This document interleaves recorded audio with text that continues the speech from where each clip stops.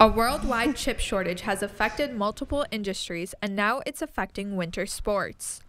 When it comes to ordering and getting stuff sent back to us, they just can't get parts in. For Two Brothers Power Sports, they're getting snowmobile parts to install after the snowmobiles have delivered to their shop. Some of that product's coming without all the parts that are needed. And most of the parts are chip related. LCD screens, those kind of things are, are kind of struggling to get to us. But the equipment shortage has caused an increase in the rental industry. When it comes to people trying to buy them, if they can't find them, then they'll rent them. Island Outdoors has seen a rise in their rentals as the pandemic continues and people want to head outdoors.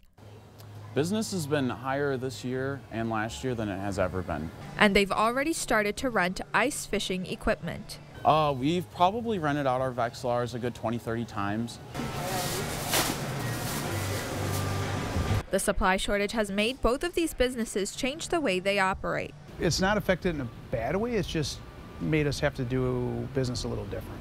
For Island Outdoors, that meant reaching out to different manufacturers. We branched out into lots of smaller companies. We brought some local people in. Two Brothers Power Sports says they've had customers pre-order product online, which has helped manufacturers. This will allow those manufacturers to kind of custom order. And Island Outdoors says they're already preparing their orders for fall of 2022. I think the name of the game right now is to order as much stuff as possible as soon as you can.